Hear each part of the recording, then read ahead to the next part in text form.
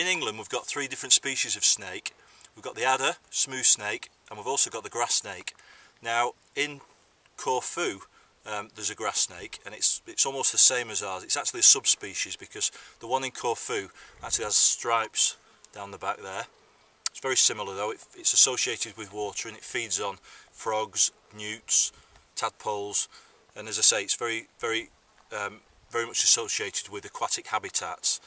Um, so I'm just going to release this one into this little water body um, near to where we found it. Um, but they are absolutely stunning snakes. I don't know if you can see that close up, but, um,